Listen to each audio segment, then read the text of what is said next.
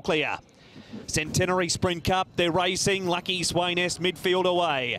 Taj Dragon, also Duke and Courier Wonder were all slow. Victor, the winner, flew the machine and he leads. Whizz Kids up running second. Sight Success third from Son Pak Fu. On the inside is uh, Super Wealthy and then came Packing Treadmill. Three wide Lucky with you.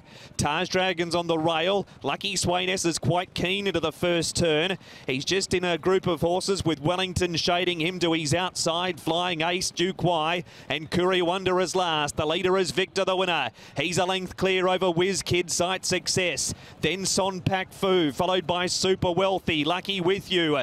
Wider Wellington from Taj Dragon, packing treadmill. Lucky Sweynesse has two behind him as Flying Ace went past him, and he has 10 lengths to make up Lucky Sweynesse. Victor, the winner, leads. 300 metres to go. He pulls anchor as Lucky with you comes after him. Wellington right there. Then came Whizz Kid. There's no Lucky Sweynesse. Victor, the winner, though. They still haven't got to him. He's two in front, and he's finding plenty for Derek Leung, and it's Victor, the winner, in the Centenary Sprint Cup. He was brilliant.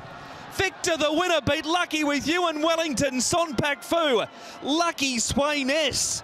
And then came Flying Ace, Taj Dragon, Packing Treadmill, Courier Wonder, Duquai, and the last couple in are both Sight Success and Super Wealthy. Victor, the winner. Derek Leung has stolen it from the front at 38 and 6.1. And Danny Shum over Lucky with you, Andrea Atzeni, Wellington, Hugh Bowman, and Son Pak Fu's run fourth.